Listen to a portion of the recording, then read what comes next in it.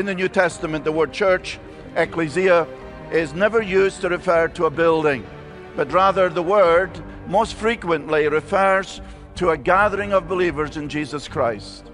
Belonging to a local church is a sign that you belong to Jesus. You cannot be an authentic, growing, balanced follower of Jesus without a vital relationship with his body, the church. Our enemy wants to isolate us. Sin isolates us. There are some people who go through life, I've met them, they never become a member of a church because they never find a perfect church.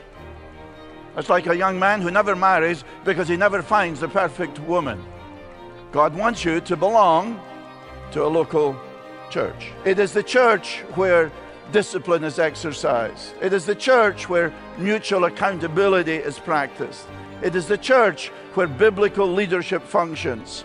It's the church where missionaries are commissioned. It's the church where we gather for worship and prayer. And it is an incredible privilege to be part of the church of our Lord Jesus Christ.